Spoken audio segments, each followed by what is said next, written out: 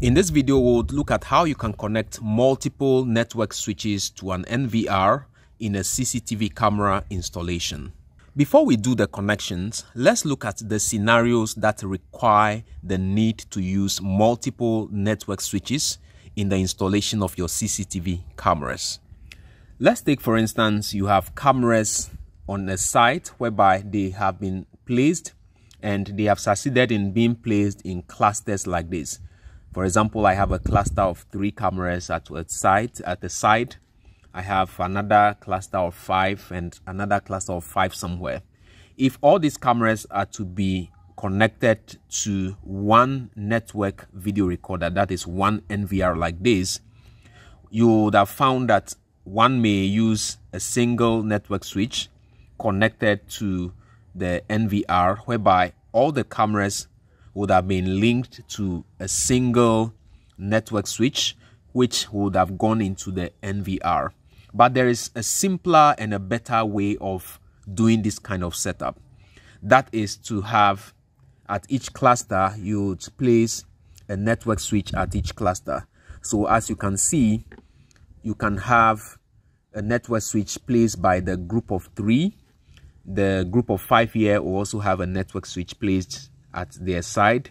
And you also have another network switch placed close to the other group of five.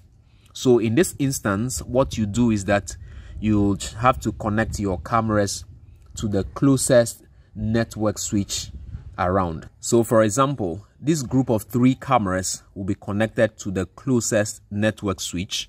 And this group also this is their network switch of which all of them will go into the network switch and the last group two you have a network switch close to them. So that in this manner you wouldn't have to run long cables from each camera to the NVR so with these you would have to then run cables from each of the network switches. For example the first group will have a cable connection from the network switch coming to the NVR and then you also have the second group the network switch coming to the NVR the third group also. So each network switch will then have to go to the NVR. But the question now remains that how can the connection between the network switches and the NVR be done? Because as you can see, the NVR has just one LAN port through which we can have the connections from the various network switches. So let's look at how you can do the connection between the switches and the NVR. This is the point where you will have to introduce a network router into your installation. At the back of the network router are LAN ports through which we will have to be making the connections. When you take each network switch, these are the normal PoE ports or the normal ports on which the cameras would have been connected.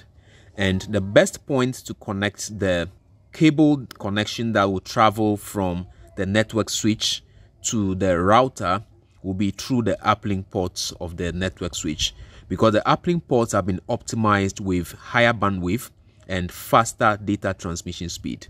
So in connecting the network switch and the router, you plug a network cable from the uplink port of the first switch and then you can just put into the router.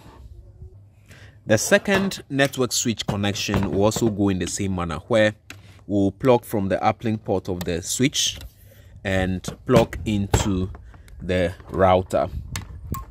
So in the case where you would have been using three network switches, you would have to make sure you connect from the uplink port of each switch into your router.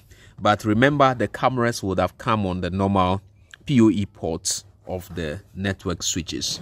So this is the arrangement or the connection between the network switches and the router. So the last point is to have a connection from the network video recorder or the NVR into the router.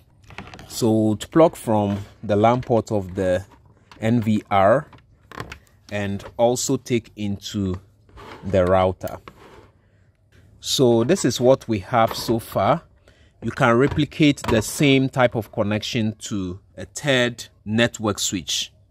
So every camera that is connected to each switch would have been taken through the uplink port of the switch and then transferred onto the router.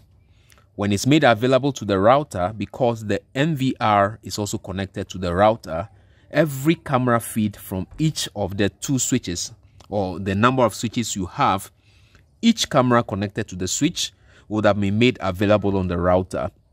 And because the NVR is also connected to the same router, it will be able to receive all the cameras on the NVR and you have a very good network. There's the other option where you could do without the router.